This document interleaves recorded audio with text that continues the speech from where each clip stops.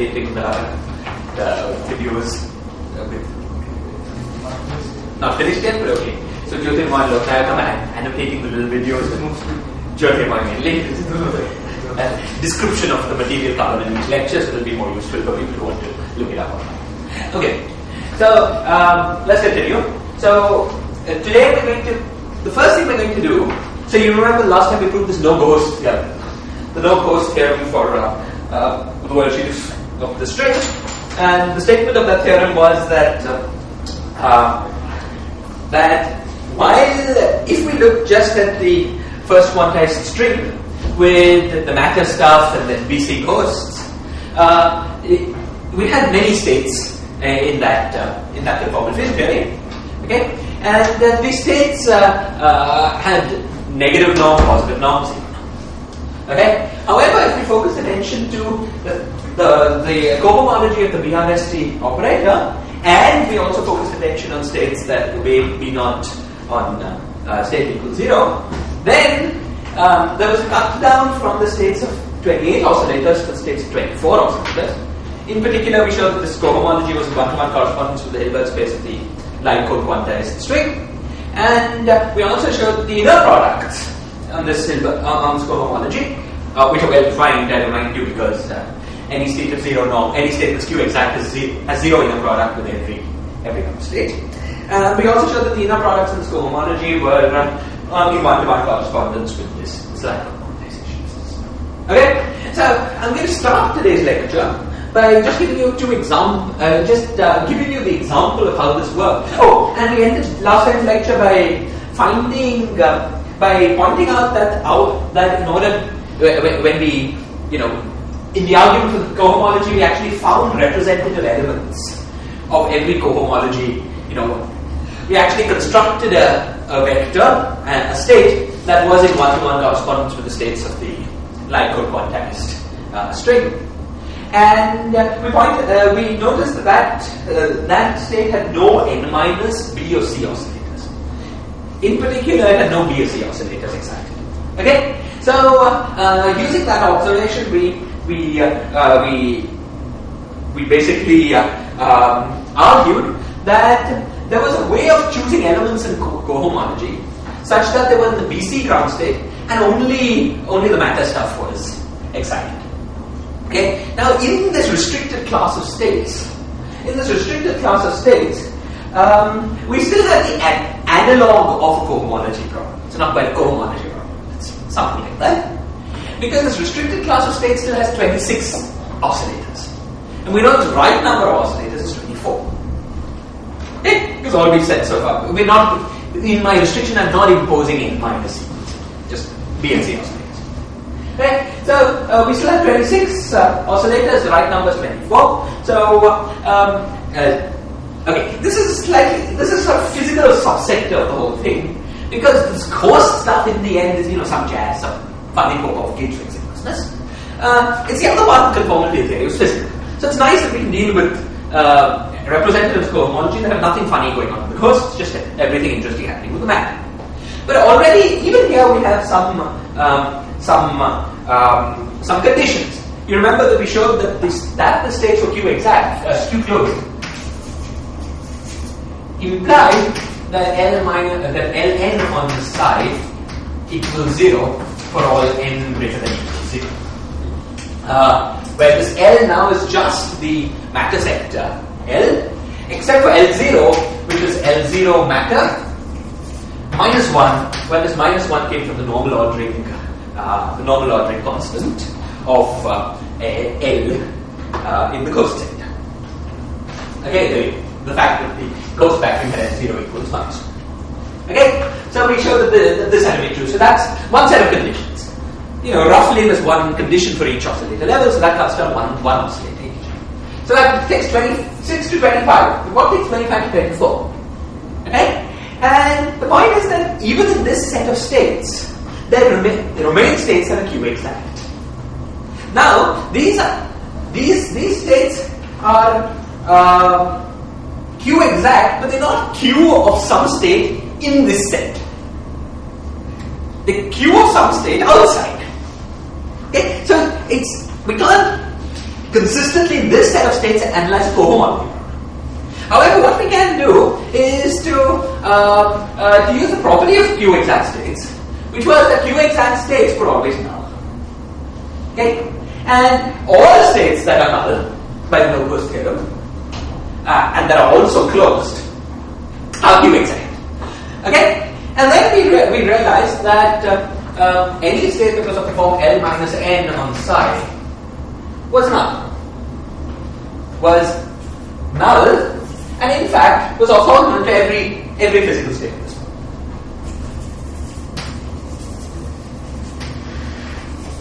To each physical state.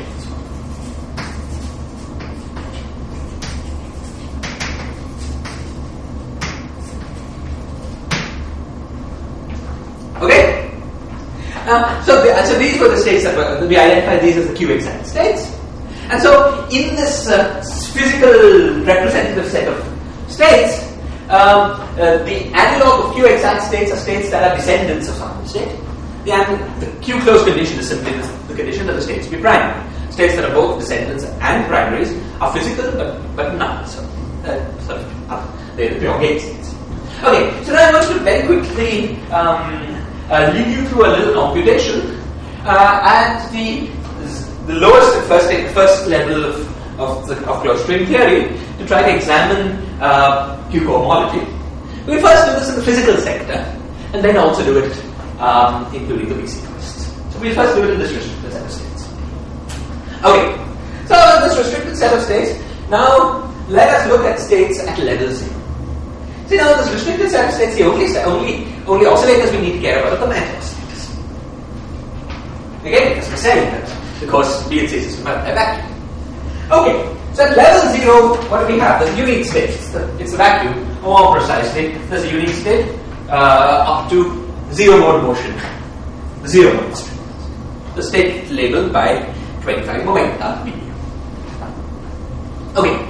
Now the question. Does is um, um, uh, what is the condition that L that is physical, that Ln and I get the state for all n? But let's remember, Ln is a product of oscillators whose index, whose index numbers add up to n. But since n, if n is positive, not zero, that always means that there is at least one unpaired oscillator. You know, for instance, n1 will have will go like alpha 1, alpha 0 plus alpha 2, alpha minus 1 plus And this alpha 1 will annihilate the vacuum, alpha 2 will annihilate the vacuum, and so on. Okay? So it's automatic that this state is annihilated by all ln's by n positive. Okay? What about for L0? Well, for L0, we get the famous Marsh, mass shell alpha prime p squared by 4 plus 1 or minus 1 is equal to 0. The minus 1, I remind you again, came from this. The, the zero mode, the, the energy of the ghost vacuum. Okay? Great. So this state is clearly physical. Now, question, can it be obtained by L minus n some other state? The answer is no. Uh, can somebody suggest now?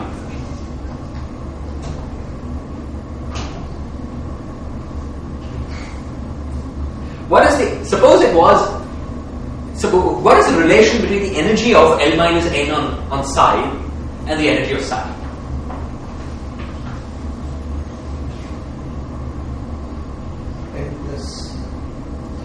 Mm, mm, the energy of psi. n plus the energy of psi. Exactly.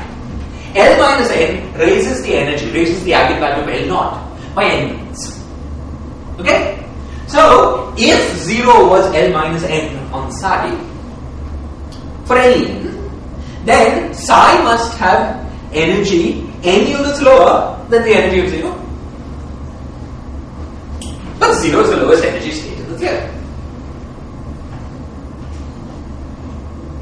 There's no oscillator state. There's no oscillator state which has, you know, the uh, lower energy than this. Okay, that's just clearly impossible. Okay, fine. Now let's move on. So, so at the at the uh, uh, at this uh, at, at the zero zero sector, you know, the, the, the lowest the lowest sector, we found that there is one state that's physical, and that um, it also is never Q exact. Can never be written as n minus n or something else. Okay, so this one state is physical state. Fine. It's the Cantor constraint. Okay? Of course, we would have had the one state also like quantization, ground state oscillator, so that's good. Now what? Now let's move on to the first uh, to the first excited state. Okay, so the first excited state, uh, the first excited state, uh, the the various states are a mu alpha minus mu minus one on Q on Q. These are all the states at level uh, at level one. Yeah, and I'm decoupling the left and right sectors. This is just left first. You can do the same. It's actually the same story with the right first. That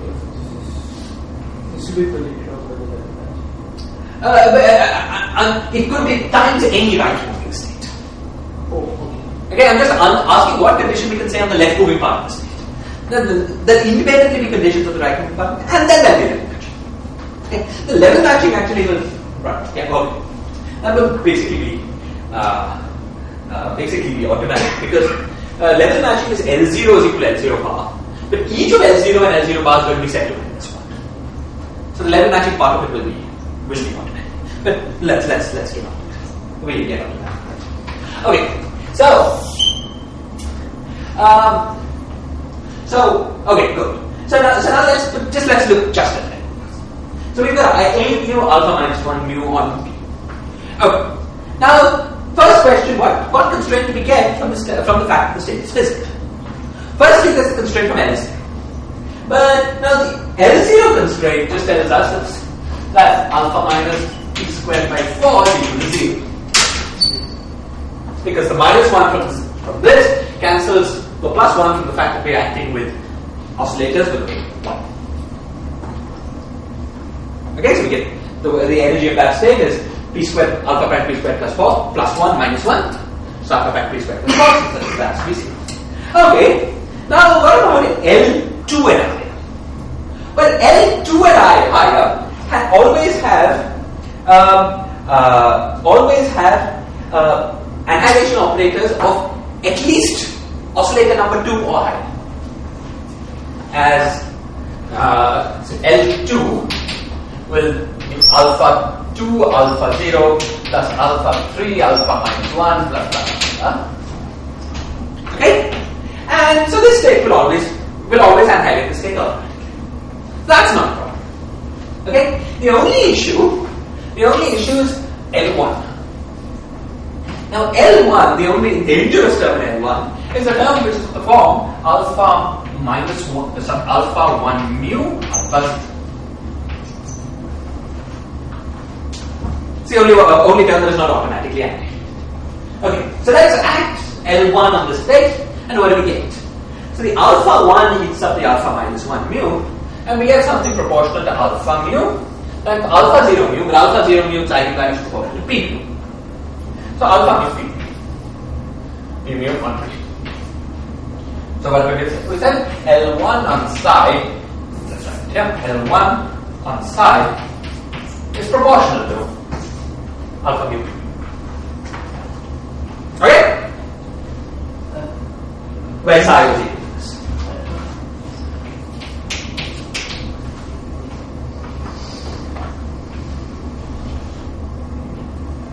A, I, I wrote out about this thing. Sorry.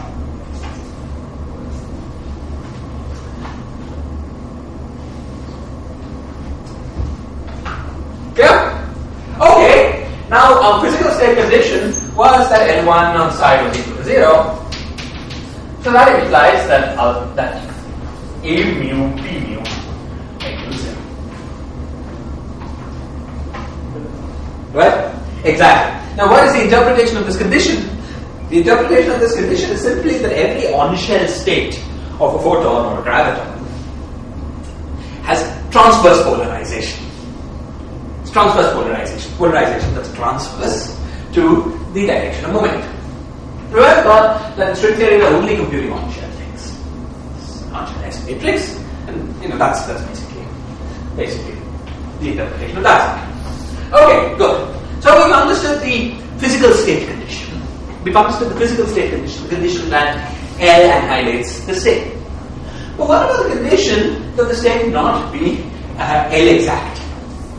Okay, so if the state were to be Ln on some other state, tell me what Ln must be and what that other state must be. Suppose we had a state at level 1 that was L minus n on some other state. Okay, what are the options? What what could that state be and what what must n do? L minus 1 L minus 1 and what must the state be?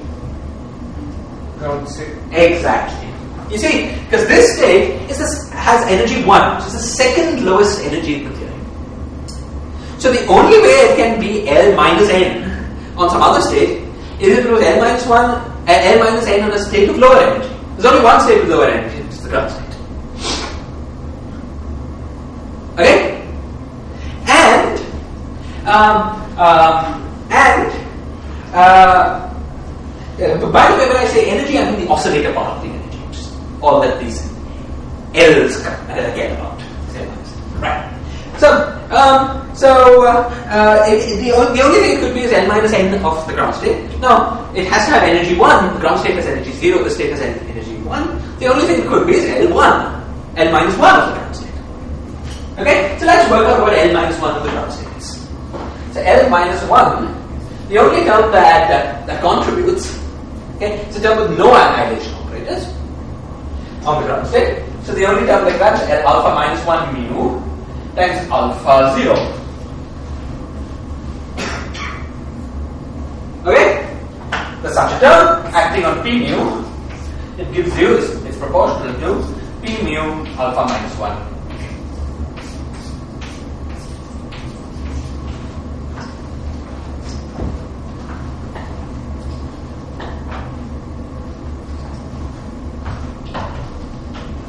Okay? So such a state does exist. It's the state with A mu proportional to B mu. If A mu was proportional to B mu, then the state would be of the form L minus 1 and 0. Okay? Now, is a state with A mu proportional to B mu, is such a state a physical state? Well, let's see. The physical state must obey the condition A dot P is equal to 0. But A is proportional to P, P P, P 0. But that's true from the mass shell condition. P dot P is equal to 0. Okay? So such a state is a physical state. However, it must be modeled out. It's zero levels to be exact. What's the interpret, uh, interpretation of such a state? Uh, such a, uh, such a, such a, uh, this, this, statement? Well, in Yang-Mills theory, you see, if we did this with the open string, which I've not yet discussed in class, what we'd be getting at the massless level is Yang-Mills theory, photons. We do it for the closed string, we, we get radicals. Okay? But I'll make the statement for Yang-Mills theory because it's more familiar. Okay? The um, statement for Yang-Mills theory is simply that uh, a shift in A mu proportional to P mu is generated by gauge transformation. Right? Because A mu goes to del A mu plus del mu chi, it's a gauge transformation. So, if you take two different photon states, scatter them, and the gauge equivalent, they should give the same physical answer for the S matrix. Okay? So, that's, that's what we're saying here. That gauge transformations of the external states, the, the difference between two, two states that is generated by gauge transformation is a state that is uh, Q exact. Okay? And therefore, external states that, are, that differ only by gauge transformations are worldsheet states that differ only by Q exact terms, and therefore have the same scattering amplitudes. Okay? So, we see this working out very nicely, and it's exactly as we expected, as, as it should work out physically. Okay? So, at the, at the first level, uh, uh, we lose one polarization because of physical state condition, and we lose a second polarization because of uh, because of uh, because because states that are equivalent the same. Okay? You see how nicely space-time concepts that we're familiar with tie in with these world sheet concepts that we just developed. Okay.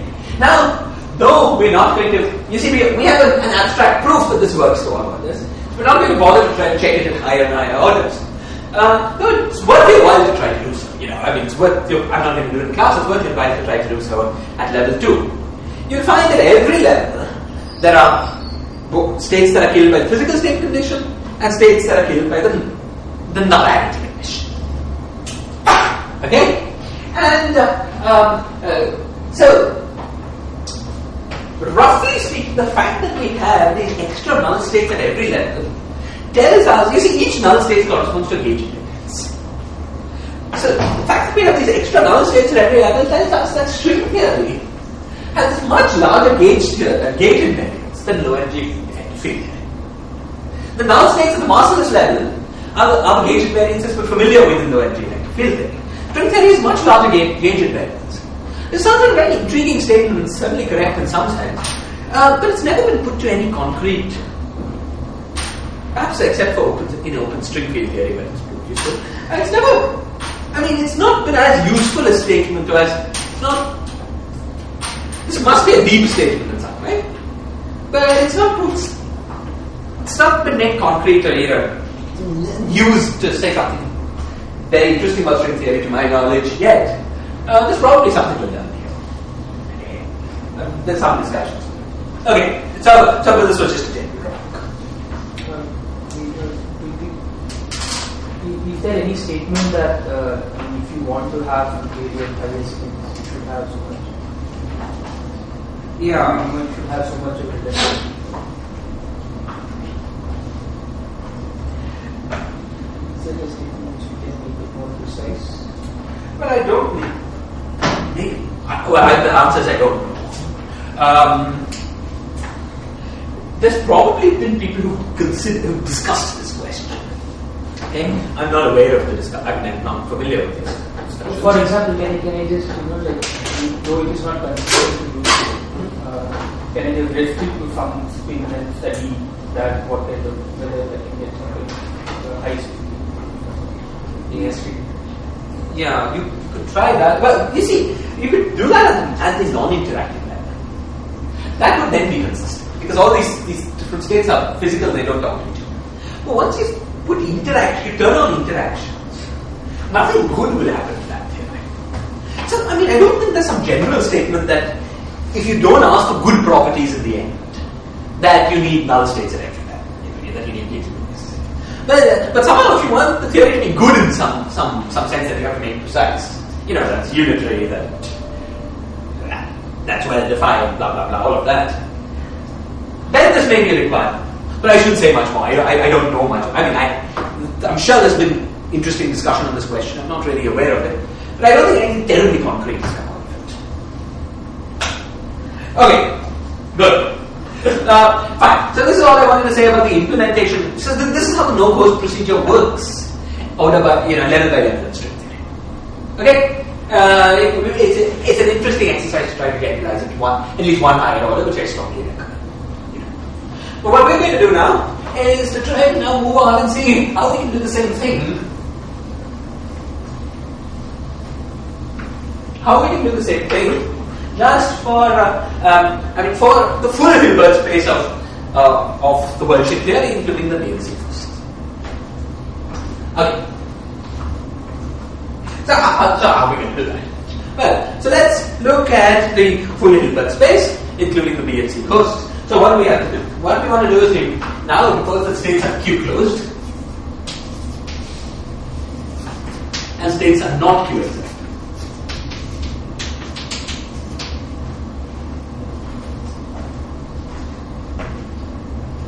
Okay? So, let's first start at level C. Now, um,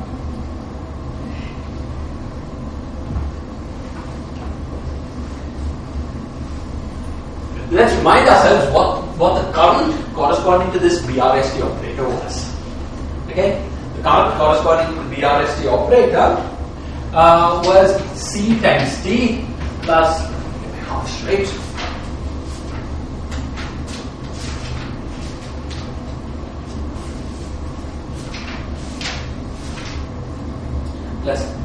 Del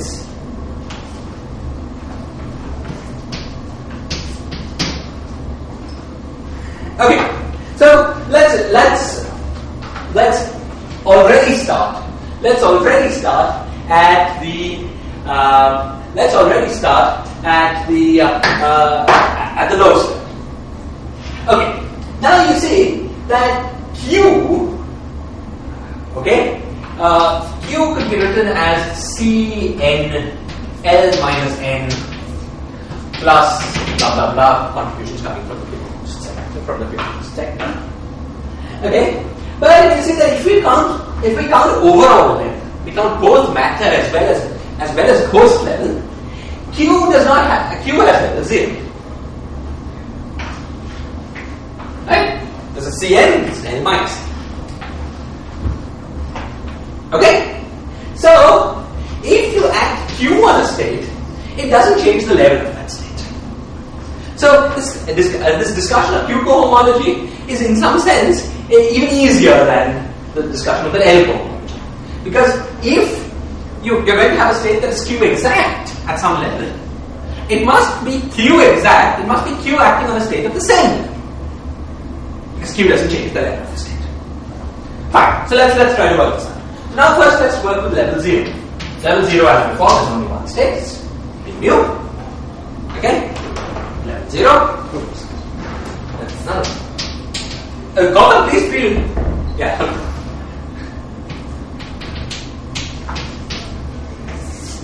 Okay? Now let's act Q on the state. So what do we get?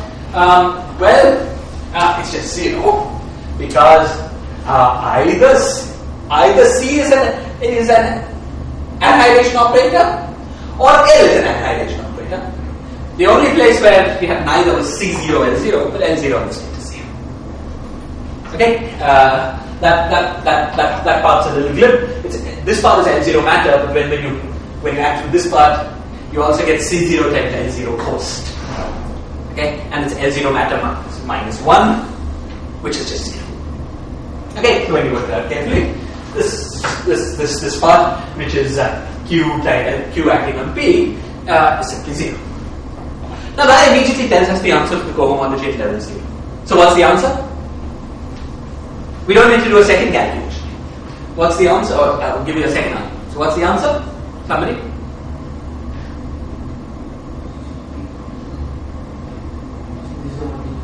This is a physical state. How do we know it's not q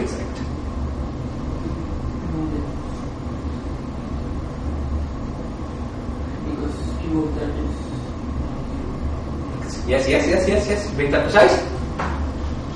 If it was Q of some other state, what would the level of that other state be? It should be the same. The same. But we found that every state at level 0, there's only one, but okay, every state at level 0 is annihilated by Q.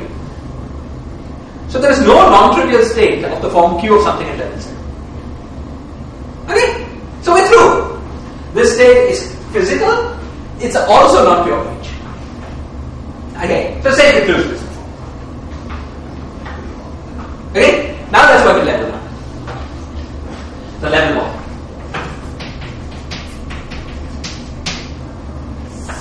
Okay, so what can the states be? So they can be A times C minus 1 plus B times, no, that's one. Uh, alpha times C minus 1 plus beta times B minus 1 plus A mu alpha mu max minus 1 on B. This is the most general level state. Okay?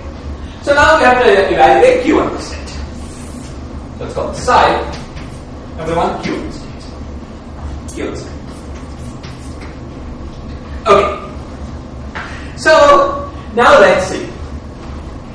There are two kinds of states that we will that in doing the calculation, there are two kinds of states that one could keep track of. There are states which have a C0 on have, have an explicit factor of C0 and there are states that don't have this explicit factor of C0. Now, all contributions with an explicit C0 must end up cancelling each other once we impose the physical state condition, once we impose the physical energy condition. Can somebody tell me why?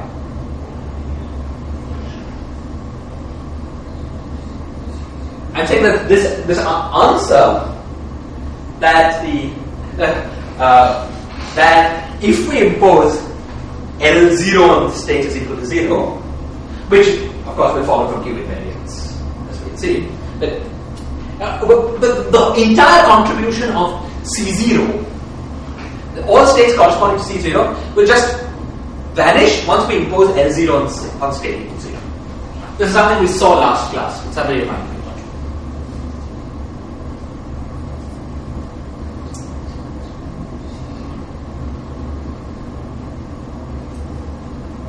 Okay, so remember the state that, that has an explicit factor of C0 in it uh, is not annihilated by B0.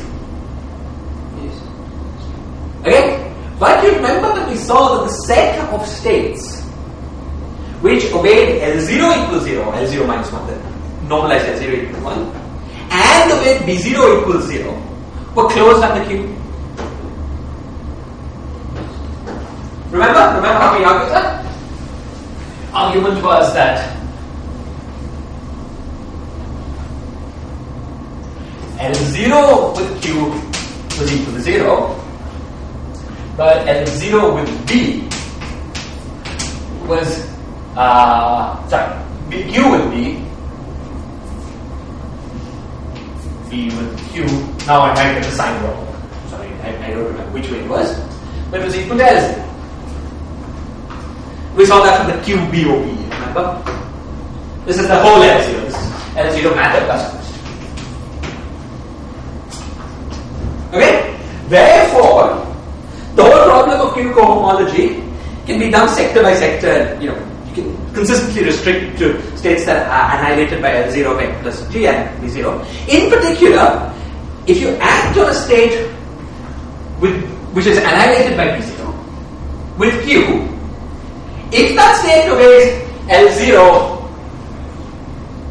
equals 0, the, the remaining, the state that you get must also be annihilated by this. Okay? So, so given a side,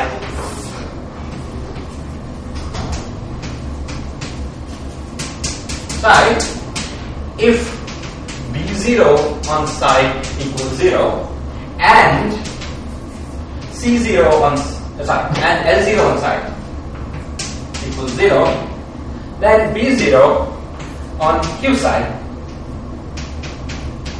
must be equal to 0. Okay? So, if in this calculation we get any contribution proportional to C0, that contribution proportional to C0 must be multiplying a factor of L0. So the only role of, of, of things proportional to C0 will be to impose the L0 equals 0 constraint. Okay? I'm saying this because, first just do it by calculation. I'm saying this because it us calculation. The states proportional to C0 are a little tricky. I mean, they're not tricky, they're a little bit of a pain to keep track of. The other states are totally straightforward. Okay? So, in computing Q1 size equal to whatever, I'm going to ignore all states that we get proportional to C0. Just knowing that the thing proportional to C0 must be must be proportional to L0. L0 matter plus L0 ghost. Okay? Now keeping this in mind, uh, keeping this in mind, let's do the calculation. Okay, so let's add Q on, on this thing. So, so what, uh, what, uh, what, what terms in Q are important? Well, we have the C times T. So we will have terms like C minus 1, L1.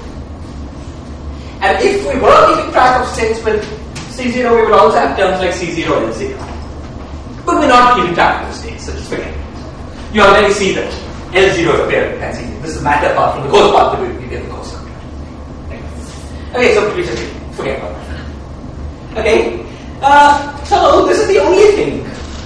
This is the only thing that will be of interest to us in the part of Q that comes from here. What about the part of Q that comes from here? Again, since we're not interested in C0, we have great simplification.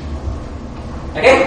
Because levels must add up to 0. We, we should never get more than 1. Okay, the levels must add up to 0. Should never get more than 1. So what do we get? Either one of the C's is a 0 or one of the B's is a 0.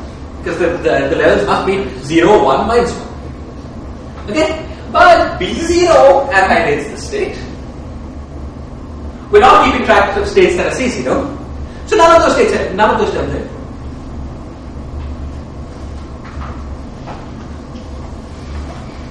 Is this clear? So the only thing we have to worry about is this. This, this is the only part of the operator Q that will be of interest to us. Apart from getting L0 equals 0 condition, which we know is going to come out. So, we've already argued that last. Is this clear? Okay? So, what, what's the conclusion? The conclusion is that when we add Q on this, we only have to worry about this. Now, what do we get when we, when we worry about that? So, firstly, um, oh, I'm sorry. Uh, there's also here the, I forgot, of course, there's the, in the matter part, there's the C1 L minus 1.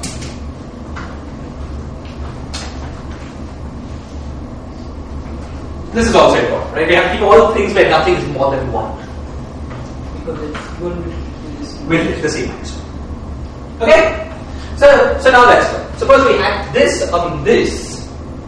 Uh, this term gives 0, but this term gives something non-zero. It gives us, uh, it gives us, uh, oh sorry, this C1 acts with the B minus 1. Okay, okay? So, th- so, so on this we just get 0. Okay, so alpha disappears from the state. With this B, mi- we get a fact, we get some state that's proportional to, I'm not keeping track of signing the factors of 2, this wouldn't matter at all. Okay, uh, we get a state proportional to B times L minus 1 on P. Okay? And we will get a state when this L1 hits this alpha 1. Okay? Now, what is L1? L1, the only term in L1 that's of importance, as we saw previous time is alpha 0, alpha 1. Okay? So the alpha 1 will be killed. The alpha 0 will contract with A mu, but alpha 0 is P. Okay? So, so there will be some number times this plus some other number times P dot alpha into C minus.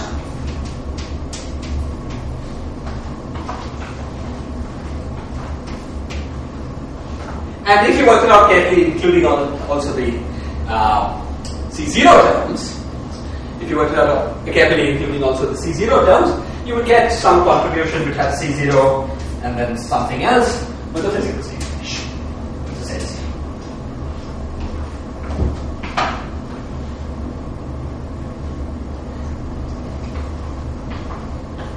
Somebody else, some factor basically. Okay? Now, so, so this is the action of Q on state set level 1. Want that the state be physical, that be annihilated. Okay? Therefore we first demand that L0 is on state 0. That's mass shell condition. Fine. Uh, in our general discussion last time we said we would only deal with states that obey the mass shell condition. So let's omit that from our, Okay, so there's a mass shell condition. But there is also now the fact that beta must be 0. You see, these states can't cancel each other. This has C minus 1 and this has an L minus 1, which is matter, L matter. It is totally different. So beta must be 0 and beta alpha must be 0. Okay? So, physical condition.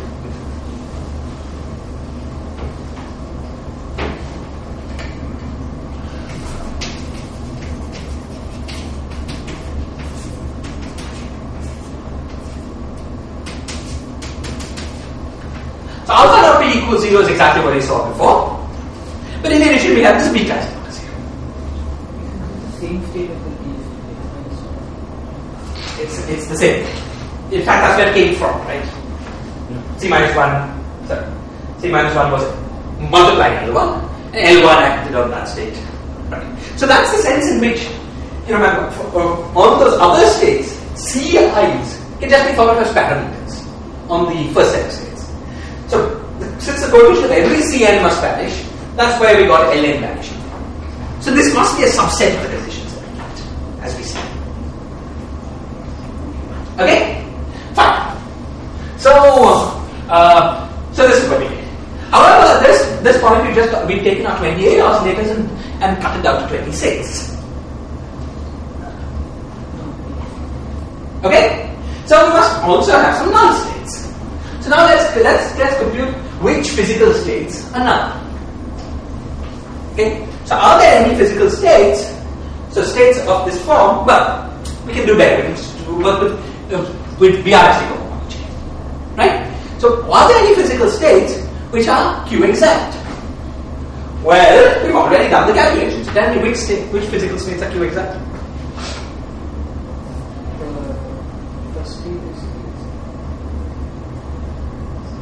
So what condition on alpha? What? Alpha equal to P, uh, proportional to P. Say again. Alpha proportional to P then.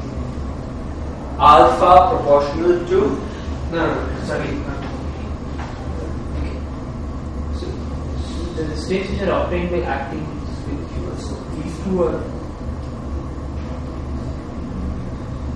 Okay, let me write one more one more statement. L minus one matter of P is equal to alpha minus one alpha zero of P. Okay? Hi. Which is P dot alpha minus one P mu alpha minus one mu or minus one mu acting on P.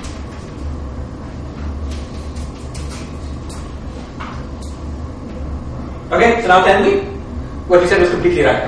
So just let's say it again. What are the so there are two there there's a two-dimensional vector space of Q exact states. Tell me describe this two-dimensional vector space.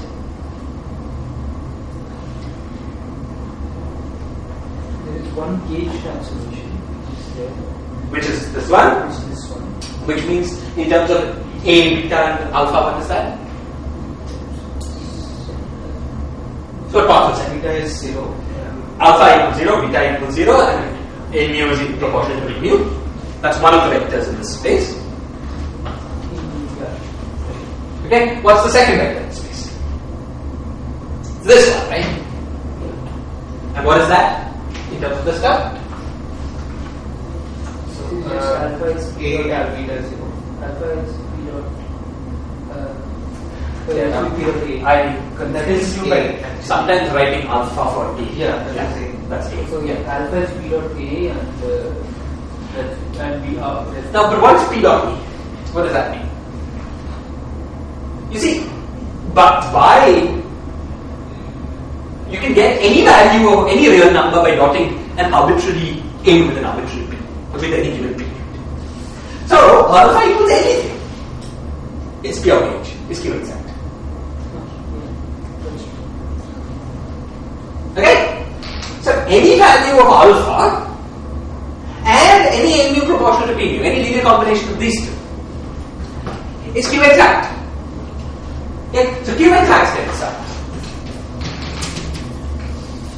states are alpha c minus 1 plus p mu alpha minus 1 mu on the side on on preview. For any alpha and you know we could put a beta uh, theta any any multiples. Okay, so the Q exact states are these. Now Q exact state should be orthogonal to every physical state. Uh, can you can you uh, the only orthogonalities between level one and level one? Can somebody argue for me that these states are indeed orthogonal to every physical state? So C minus 1 will be become zero Yeah. So this is Q exact and the physical state was was equal to let's call it alpha tilde c minus one plus let's call it b mu alpha minus one mu uh, on p mu where uh, alpha dot p is. Okay, so now that it's obvious that is what you say. On. There is no V one. There is no V1. One will with zero. Exactly. So because that's the absence of B1 for every physical state, this guy has nothing to contract with, so zero. And uh, similarly here, the only thing this one contracts with this, but it gives a P dot B in the contraction and P dot B dot P is equal to zero at the physical state. Okay? So, states that are Q exact are formula to every state. So we could equally well determined the states that this set of Q exact states by just computing the the, uh, the matrix of inner products on this 26 dimensional state space. We would have found two null states. Everything else looks like. Okay, so uh, uh, in the end, we've got the same uh, we got the same answer as before because although physical states are a c minus one, you see c minus one is pure gauge. So you can by BRST in BRST cohomology set to zero, and then uh, physical states have uh, uh, uh, transverse to uh, momentum, but moving the amplitude by factor proportional to momentum gives you zero. Okay? Fine. So that's that's all we want to say about uh, about this no-ghost theorem and cohomology and so on. And we'll now turn to a discussion of the scattering am- the scattering amplitude. Now that we're armed with all this knowledge, uh, but any questions or comments?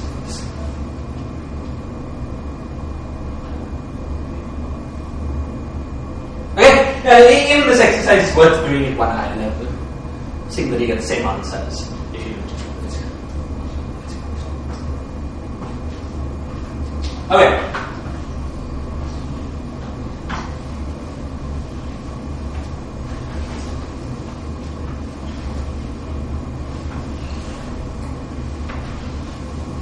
Okay, I now want to, uh, want to turn to discuss the scattering amplitude. This discussion is largely of, well, it's not very deep, but uh, we should go through it just so that so that you know the scattering amplitude has all, all the consistency properties first, let's remind ourselves of the formula. So we have scattering amplitude of various states and an integral over moduli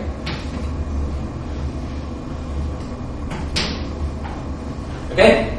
Then had uh, um, an integral for the position of all the unfixed vertex operators.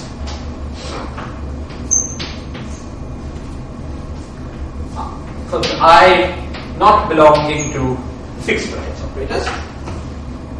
Okay? Then you had a product of um, um, and let's put a factor square root g metric. So uh, for each. Take root of the right measure.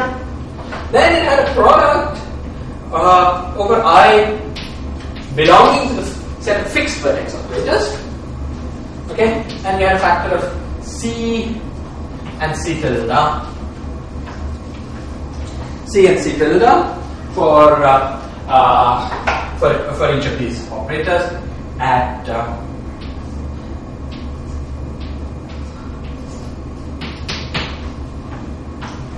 And then we had a factor of the vertex operator. Then we had a factor of the vertex operator uh, for every kind of vertex operator. And then finally we had um, these factors of B del kg. These factors of B del kg for every uh, uh, for every modulus, and then we have the exponential of minus Sm plus Sm. Okay, this is the final, final formula for the scattering amplitude. Um, there's, uh, it's been some time since we wrote this down before, so is every term here familiar? to you? So is any term here that is that you can't remember what it means? Please tell me. We'll elaborate. Then kg was delta G was the derivative of the metric with respect to the variation of, the, of moduli, of the k modulus. Okay?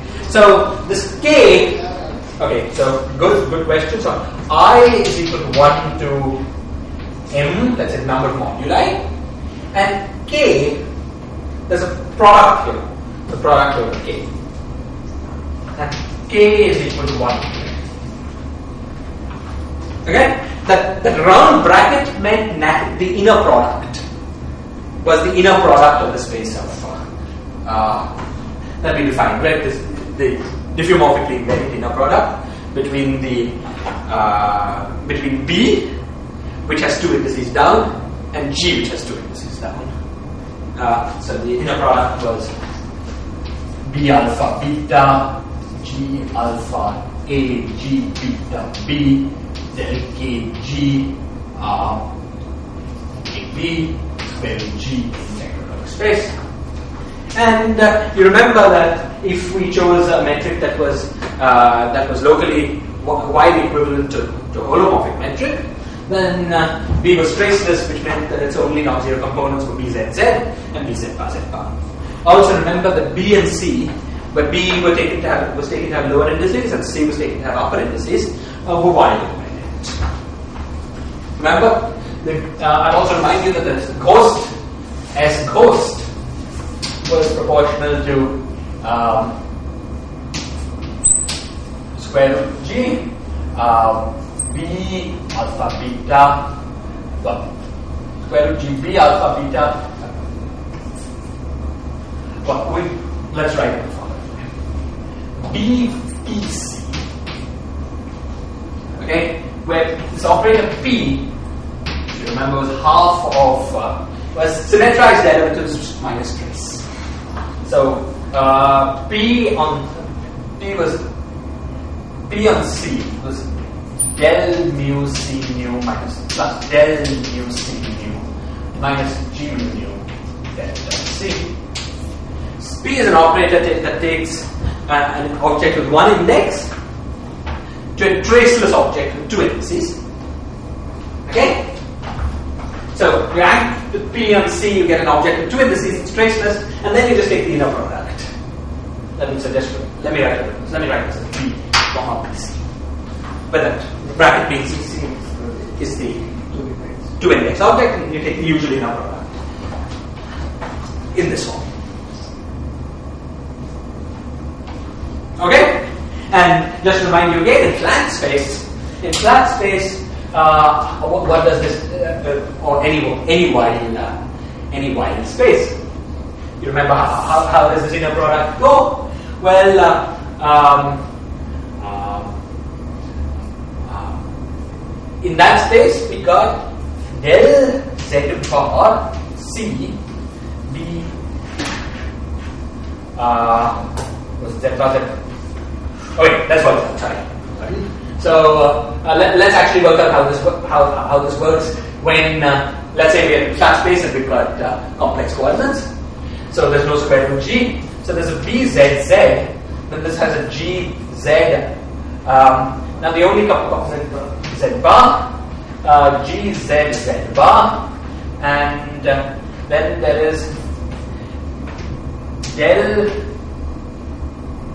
z bar but that's that's based on Shistel z bar of uh, C Z bar. Uh,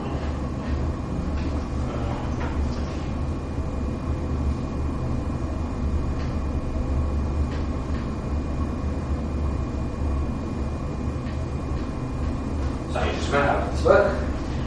Yes, it's there.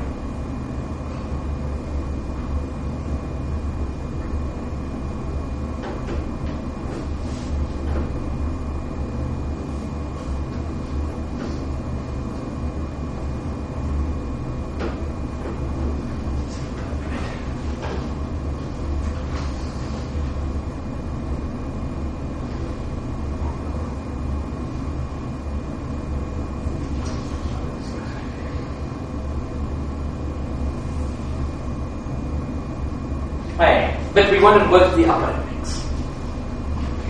So, uh, see, this is z bar. Right. So this was bzz, uh, del z bar, cz bar, which is the same thing as uh, cz. Okay? And it was this bzz that we call we call it b, and cz, which we. Okay, and we also checked when we worked all this out that uh, when, when we took the variables to be like this, this action was actually y this thing. You remember that if we took the metric to be e to the power 5 times del z del z bar, you got the same answer for this denotation, the e to the power 5 Okay, very good. So, fine. So, okay, just every term of this on the blackboard clear. V is the number of conformal Killing vectors. It's the uh, number of gauge invariances that are not yet fixed. M is the number of moduli. It's the uh, number of directions that extra directions that you have to in- integrate over the you know the extra the space of metrics that couldn't be reached from a particular choice of metric by conformal transformations, by Weyl transformations, Y. Okay? Questions, comments? Well, there's a single C from left movers and a single C from right movers. Um, uh,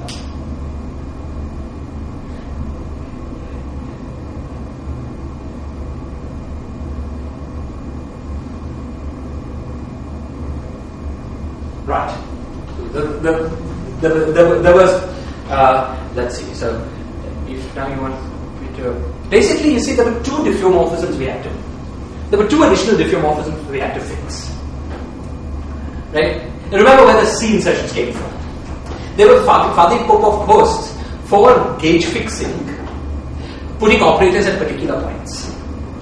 Now we're putting operators at two at a points in, points in a two-dimensional manifold.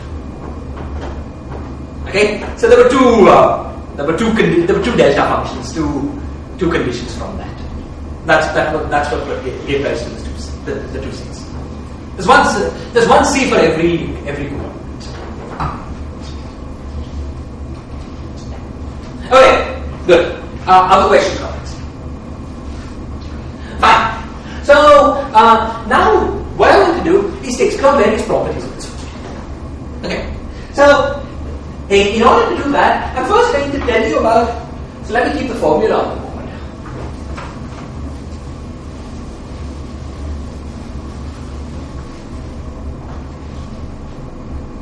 the now. Okay, so uh, in order to do that, let me first tell you about another representation of the of the ghost part of this formula. Okay, so firstly, uh, also now, what are V's? You see, now we have a much better understanding of what these V's are than we did when we when we uh, went through this calculation last time.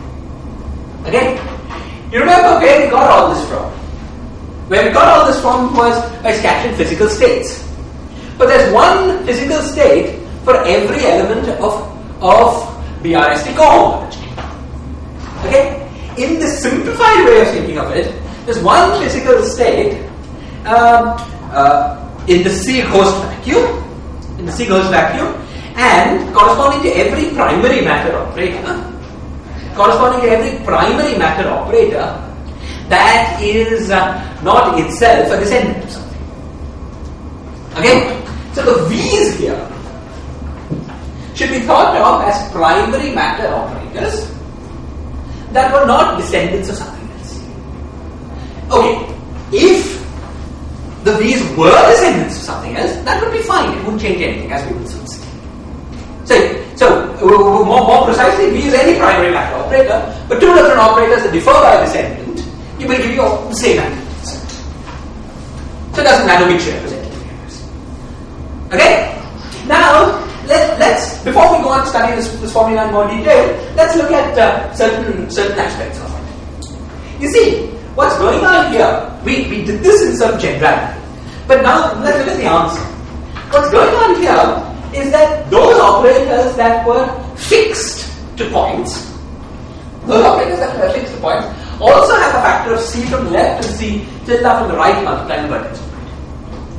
Now, you you see that's sort of satisfying. The factor of C and C are satisfying from another point of view. And, and that point of view is the following. If you remember when we worked out the BC ghost system, we worked out the state operator. And one of the things that we found was that the operator dual to the vacuum of the theory was what?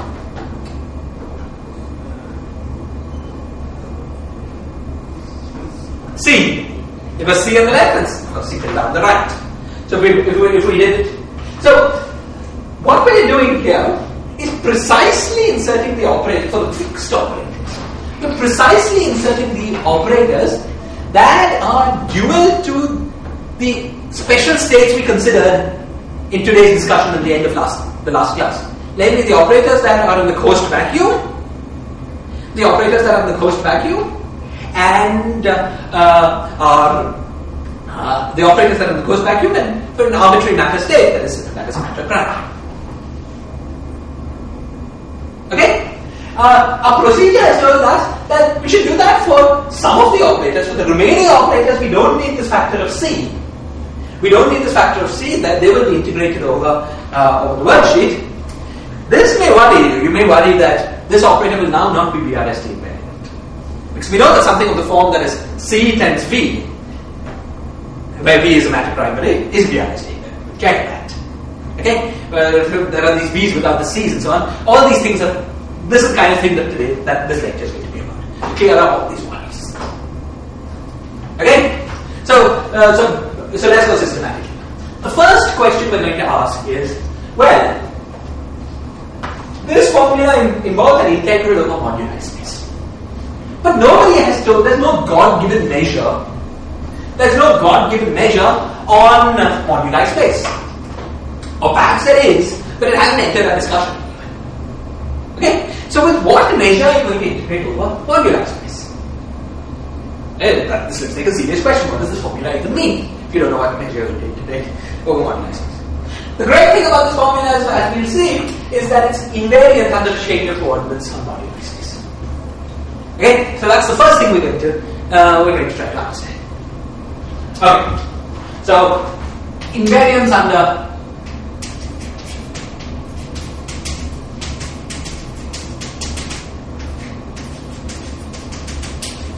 coordinate transformations.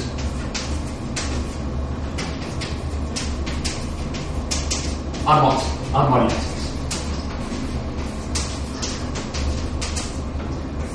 In order to understand that, we're going to take the ghost part of this path integral and process it in a way that is nice. Uh, independently nice, but a, a byproduct will be this understanding. Okay. So, the first thing that we, we, we do is ask the following question. Suppose we looked at this ghost action.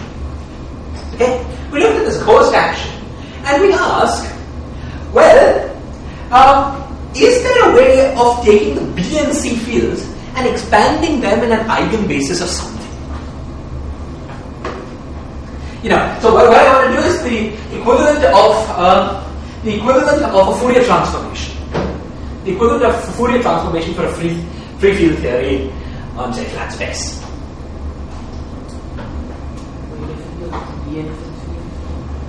What the what? BNs and CNs are BNs and CNs are a Fourier expansion. That's exactly right. You see, now we're trying to be completely general. We're doing this on an arbitrary manifold. Okay, so this, so uh, exactly. So what we're going to do is, you see, the BNs and CNs have property that they had uh, you know, good transformation properties under the uh, quadratic operator, uh, under the operator that you get. Well, hang on for five minutes. See what we're going to do, and we, you'll see that, that that's it will reduce to that in flat space, more general. Okay, so you see, this operator P is an operator that takes a one index object to a two index. So this is an operator that maps one space to another. Uh, so it's not some sort of square matrix. You know, it's not mapping one space to itself. However, we have an inner product defined in the space of object with indices. Okay? Consider the operator p dagger. P dagger is defined by uh, by the uh, uh, by the by the, form, the usual requirement. Okay? And it's easy to find an explicit formula for beta. It just takes a derivative, an appropriately lower derivative, and contracts away one of the indices of b. Okay? So uh, we define this this this uh, this conjugate operator beta. Now, now let us consider the operator p dagger p. The operator p dagger p maps objects with one index to objects with one index. Because p dagger was the object that mapped objects with two indices back to objects with one indices. So this is a nice square operator and can be diagonalized. Okay? So it makes sense to consider the eigenfunctions of, of, uh, of this operator. Okay? So let's suppose that we have some, this operator has some eigenfunction, let's call it Cn, with eigenvalue combined. This is just a show the Laplace. So we we are just looking at the Laplace. It's the it's del square in that Yes, exactly. Uh, but you see, we want to make this, or, or this discussion as general as possible because we want to apply to all Riemann solutions. So I don't want to specialize to flat space in this. Will be a Laplacian of that manifold. It, it would be exactly what this is. You see, it's, this is a, a Laplacian, the, the, right? It would be essentially a Laplacian, but acting on vector, uh, on acting on vector fields. Because CS, uh, uh. So it's not a scalar. Yeah. Okay, good. So, um, fine. So we've, we, we've got this, uh, we've got this equation. So suppose Cn is equal to, you know, P, P dagger, P dagger P is Cn is equal to gamma Cn. Okay, now, I want to show that by and large, okay, similarly, this the discussion we had for, uh, uh, for P dagger P, we can have a discussion for P P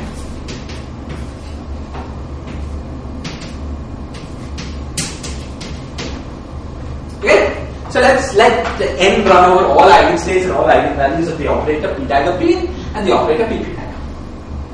Okay, now I want to show that there is a one-to-one correspondence between eigenstates of the operator p p dagger and eigenstates of the operator p dagger p, provided the eigenvalues of these operators are not equal to zero. Okay, this this P dagger is always acting on the vector space of two indexes. P dagger acts on the space of two. And at P Okay, so one. So these are completely different operators. A square matrix on the space of two index objects.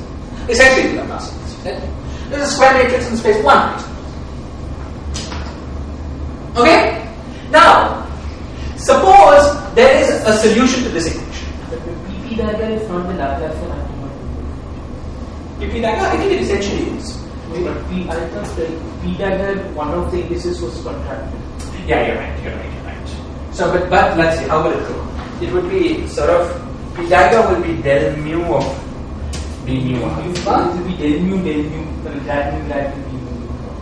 Yeah, you're right. You're right. It's not, you're, you're, you're right. It's whatever you get by doing PP dagger. Sorry, I will not stay with one. Yeah, no, no, class, I think. Wait, is the other one also like the class? Yeah, but that, that, No, no, and then the other one we don't contract. Right, we don't. Right. Uh, and when we now act with the with this, we'll say it's something like del beta this plus del alpha minus trace.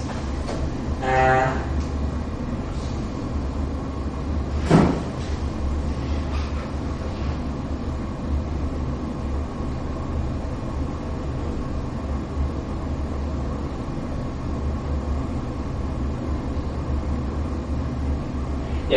It's very, very different from the Laplacian in the sense that the indices, one index is contracted with here and the other index is free rather than the indices being contracted together. So that's what P, uh, subtracting by the trace, this is what P Pythagorean is. It's this differential. Alright, thank you, thank you. Okay? But at the moment our arguments are formal, it doesn't matter exactly. Okay. Now, so consider p dagger p on Cn is equal to gamma n Cn. Suppose there's an eigenfunction of p dagger p that obeys this equation. Now let's take this equation. Okay, I'm rubbing this out So Let's take this equation and act on both sides of p. Okay. Because these operators are associated, we get p pp dagger on pcn is equal to gamma n times pcn. Okay? So provided that PCN is not equal to 0, provided that PCN is not equal to 0, every eigenfunction of P dagger P,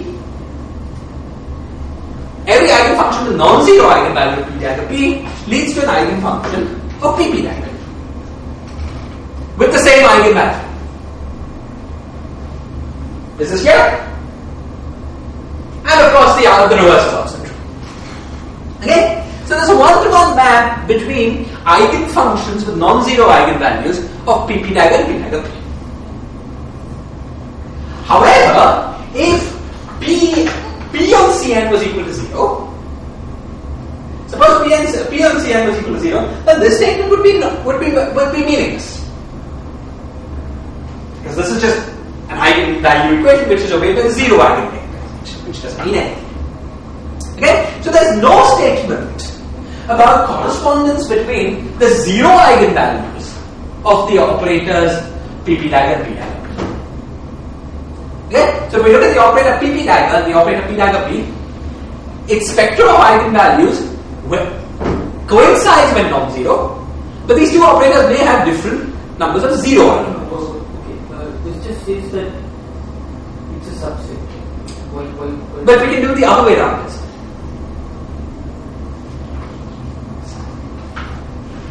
So, if there was an eigenvector of p, uh, p dagger p, this has proved with with with, with uh, gamma n not equal to zero. This has proved that there is a corresponding eigenvector uh, of pp dagger with, with the same value gamma. But now this this this uh, argument is completely symmetric.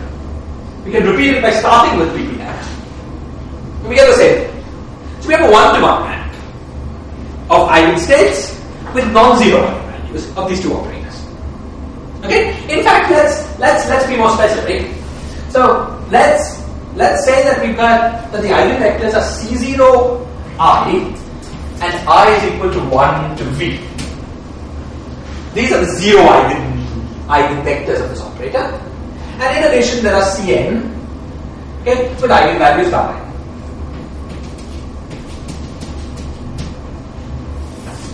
And let us choose these CNs to be normalized under the norm, this bracket norm that we've been talking about. The bracket norm is just contraction multiplied by square root g integrated. Okay? Then, let's see if we, so these things are normalized eigenvectors with eigenvalue gamma n for the operator p dagger p. Let us see if we, uh, what, what uh, we, we can now find a formula using this this uh, uh, uh, this result. Oh, by the way, something I should have said is that because this operator is uh, you know this is an Hermitian operator. Uh, clearly, so you take the dagger of itself, you you get back itself, and also it's a positive operator. But anyway, the, the, the, the important point is that P on Cn is equal to zero is equivalent to P dagger on P on Cn equals zero. So, uh, it's possible. Is it from fact? Oh, oh, it's positive. See, uh, let's act PP on side. Uh, uh, what do I, what do I, I want to show that all eigenvalues are positive. Okay, Yes. yeah, so I just take inner product, you know, negative, positive. It's, it's, yeah. Okay, so, so, but, but, but what, what I want to say is that if the only way that P, P, P dagger, P dagger P can be zero is if P on side equals zero. This is the usual argument, right? Because P dagger P on side equals zero, so let's contract the side and use the positivity of inner product. So this is the inner product of the state p psi itself, the only way this can be zero is if p psi is equal to zero. So there's two ways. When, when I say p is a, you know the eigenvalue uh, of this of the operator p dagger p vanishes, that's the same thing as saying p kills the operator. Okay, good. So these are the zero modes of the operators. Okay? And then these are the other eigenvalues, the non-zero eigenvalues of the operator uh, p dagger p. Okay? Now, given any of these non-zero eigenvalue states, we use this construction. We have that p dagger p, uh, p dagger p, sorry, p p, uh, p, p dagger on p cn, as we've seen is gamma n cn, gamma n p cn. And if we want to deal with it, uh, okay, so let, let me call, let's say that Bn is equal to some alpha n, some normalization that I don't know, times Pcn. Let me determine this normalization. So let's let's compute the norm of let's compute the norm of uh, uh, of Bn. Okay, so the norm of Bn is uh, the norm of Pcn Pcn which is the same as Cn p dagger p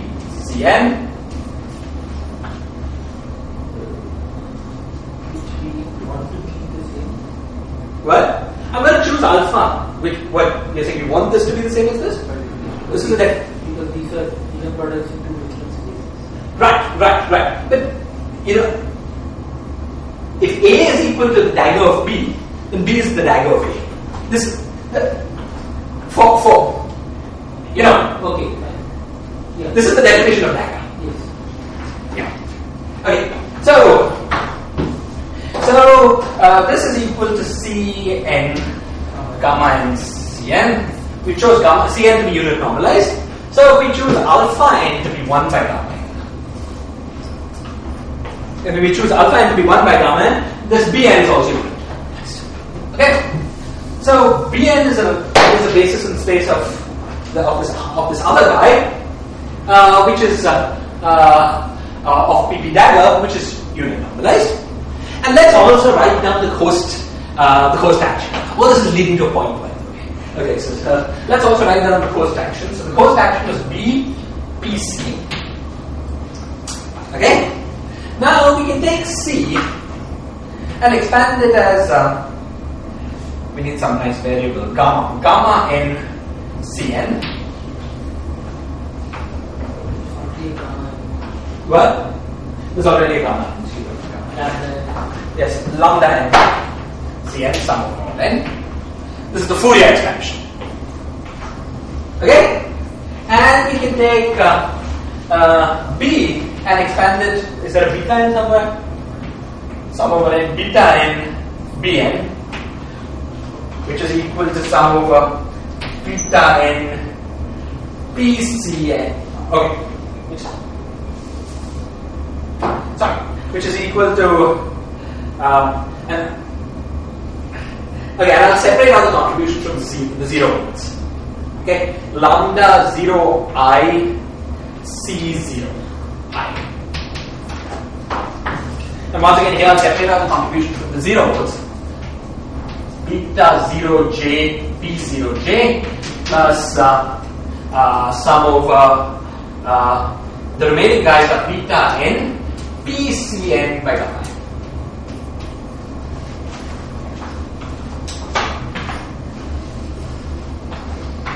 Okay?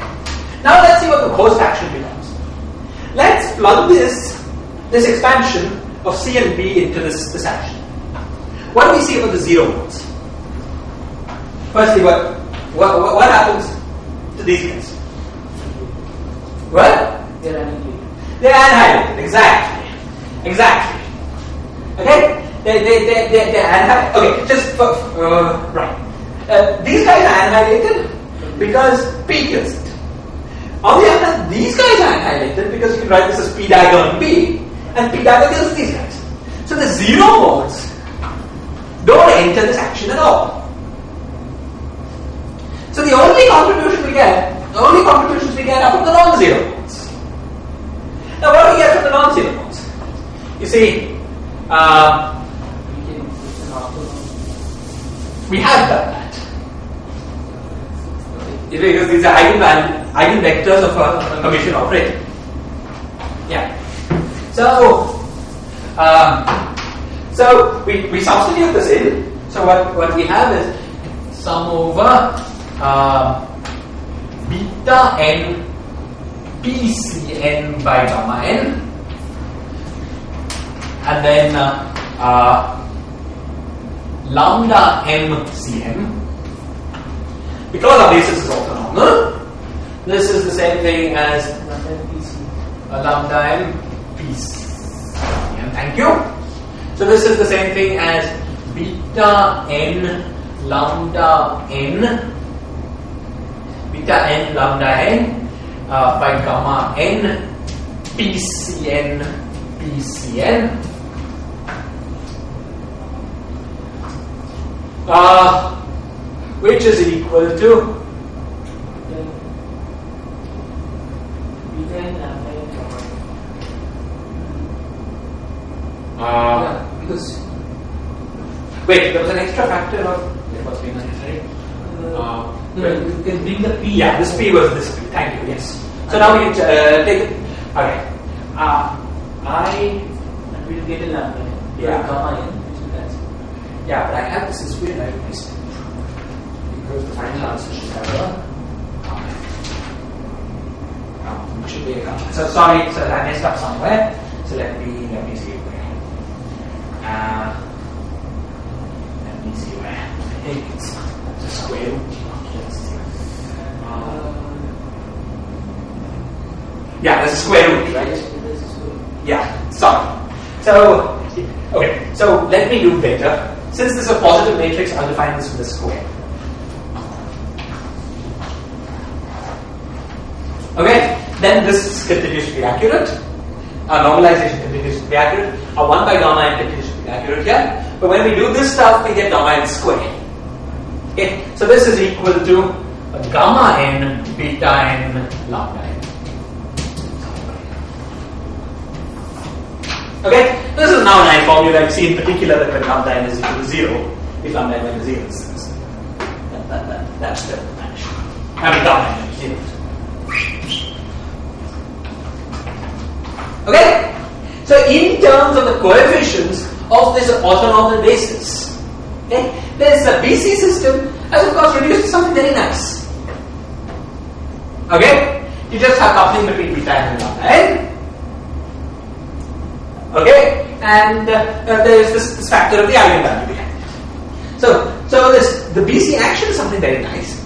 But the key point that I want to make in all of this is that the zero modes do not appear in this action. Now, what, what, why is that important? That's important because the we're doing a path integral GC Now, what does it mean to do a path integral over a field? One way to give meaning to the measure of path integral over a field is to take that field, expand it in an orthonormal basis, and and do the integral over the coefficients of this expansion. This is everyone's to know, right? It's like doing the expansion, the path integral in momentum space for an ordinary field. Okay? So this this thing means now that we've sort of done things carefully, what does this mean? This this means d product over n d s- d have I called it lambda n. Okay? Product over n d beta n. Oh, this is derivation. Okay, good. Okay, do you? These are the coefficients of the expansion. These were the functions. These were the coefficients of the expansion. But I also have the products over the zero ones. Product i is equal to 1 to v and product j is equal to 1 to m. d, uh, what did I call that? Lambda 0 of i. And d, I call that beta 0 g. This is what the path integral over the ghosts means. Okay? And this part of the path integral is no trouble at all. It has this nice Gaussian action with which to play. However, the part of the path integral over the zero modes, that is problematic. It's problematic because the action that we're doing the path integral over is independent of the zero modes. Okay? Now, why is that a problem? That's a problem because, uh, as you know, Grassmann integrals, uh, the Grassmann integral of a constant is zero. You do a, an integral over uh, over a particular Grassmann with a particular Grassmannian coordinate over a function that is independent of that coordinate, get zero. Because the Grassmannian integral says the Grassmannian derivative. Okay? So, it looks now like we're in danger of getting zero by doing the path integral that we, we set out to do in order to compute string, string scattering amplitudes because we've got these integrals over all the zero ones. So what gives? The thing that gives is that in addition to doing the integral over the e to the power minus action, we also have all the insertions. Now, how many insertions did we have? Remember, the number of insertions of C were the number of unfixed gauge invariances. Un- unfixed gauge invariances were those gauge invariances that left the metric unchanged up to diffuse, up to up to Weyland uh, uh, uh, yeah, conformal transformations and the metric. But the action of a diffeomorphism on the, the change in the metric of of a diffeomorphism is essentially given by the p operator acting on, on this diffeomorphism vector field. So the number of C insertions, which is the number of unfixed gauge invariances, is the same as the number of zero modes of the operator P.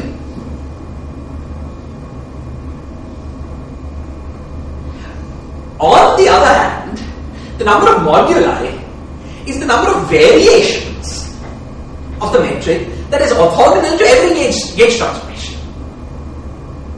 It's, it's the kind of change in metric that you cannot achieve by one of these gauge transformations. Okay? So it's a metric variation such that it's orthogonal, metric variation, inner product, change in the metric due to gauge transformation is zero. So metric variation, inner product, P with any C is equal to zero. Which means P dagger and metric transformation is zero.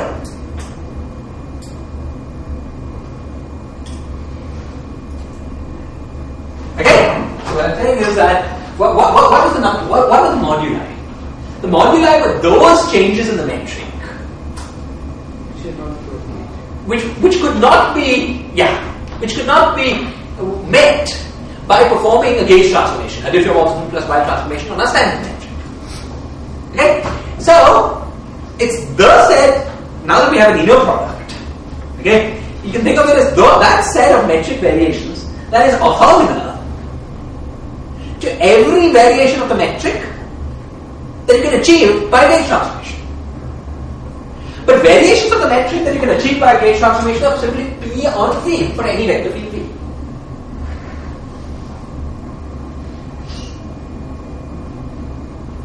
This is how our metric changed. Okay?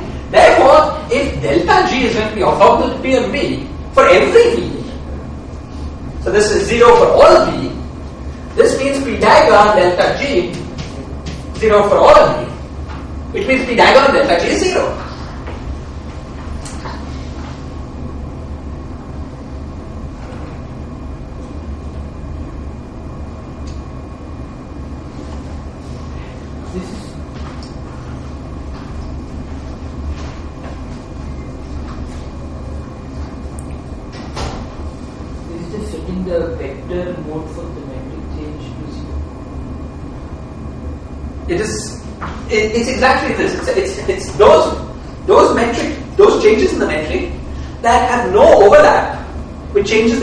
by transformation. Yeah, so, so, so basically you're saying that any any change in modular should be a change in the tensor mode because vector mode and scalar modes are not physical because I mean it should be achieved by some graviton, I mean some physical graviton. Now the p dagger delta g is basically a vector mode. P dagger delta g is a vector mode. That is correct. Okay, and you're saying that you know that the for the vector mode changes. What, what do you mean by vector mode? Because okay, phi delta delta d is a vector. Yes. Okay, so so what you're saying is that you know like I mean that change in the metric is not a change. Okay. Dagger delta G is, I mean, is It, it's not a it's, it's not a change in the physical degree of freedom. The physical degrees of freedom are actually the I mean the, the tensor mode, the graviton. I, you know, the, the, the, this kind of way of thinking, I'm not sure exactly what you mean by tensor, but this kind of way of thinking will lead you to say that there's an infinite number of solutions to this thing. To P dagger delta G is equal to zero. Uh, if I understand you correctly by what, what you mean by, oh sorry, just tell me what you mean by vector mode tensor mode. Yeah.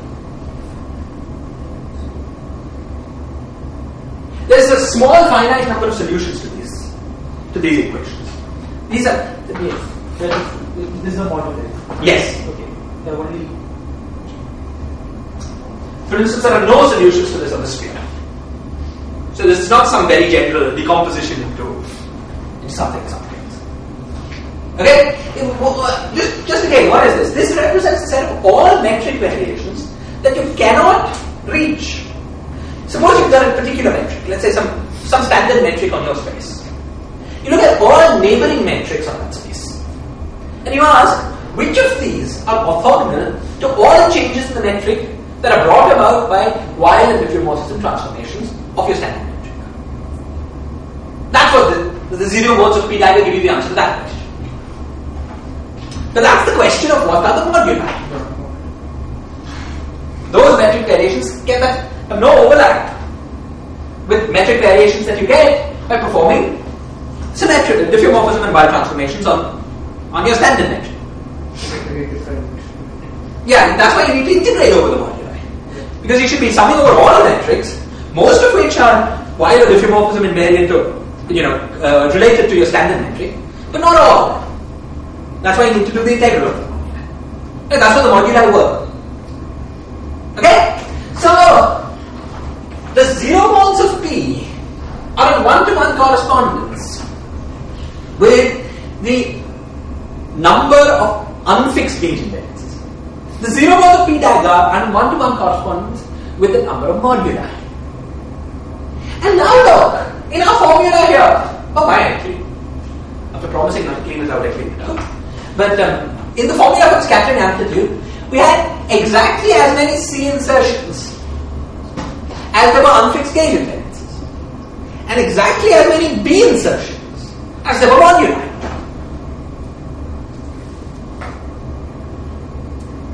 Is this clear? You remember we had for every modulus we had B comma del kg. For every uh, for every unfixed gauge invariance we had a C times B. So that's what makes it all work. You see, the integrals over the zero modes of, uh, of the B and C fields